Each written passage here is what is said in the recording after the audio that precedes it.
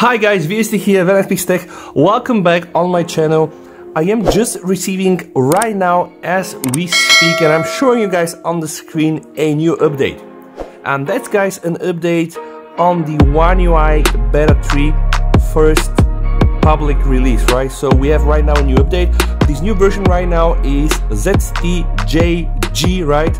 And what is new here guys? So let's first read the changelog.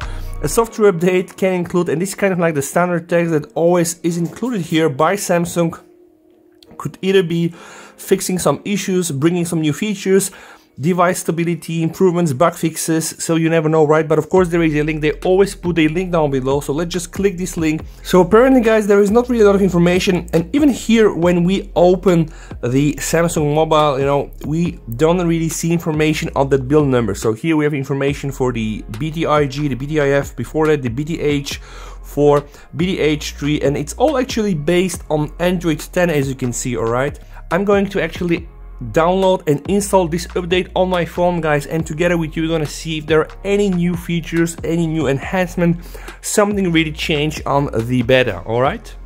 And it came across to my mind that I want to check Samsung members because you know when you go to Samsung members and you are already part of the beta program you might get some information there. And in fact actually there was some information right now when you go to notices you can see this the second beta software update. It's actually today the 21st of October, which is actually one day before my birthday, which is tomorrow. So tomorrow, please everybody subscribe to my channel, like, and just send me some greetings.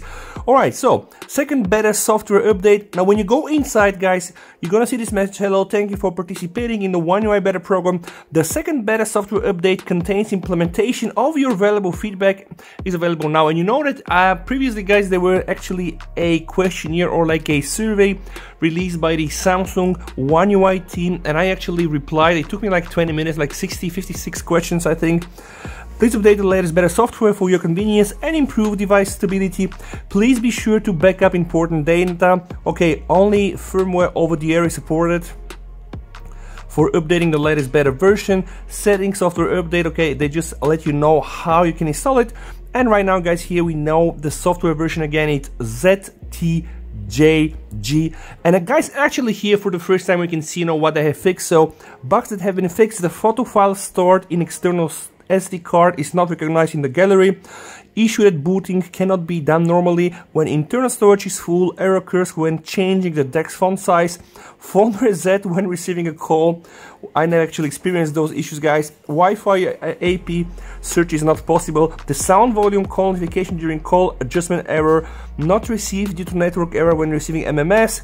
Quick panel improvements camera improvements and application of many other improvements and that's practically one of the best changelog guys i really love this when they say a lot of bug fixes right so a lot of new features right we never know so thank you here usa beta team. Right now, guys, I've been made aware by some of my sources that this is still not available in Europe, like if you are subscribed to the beta using a UK card or a Germany card. So probably it's gonna come in the next days, alright?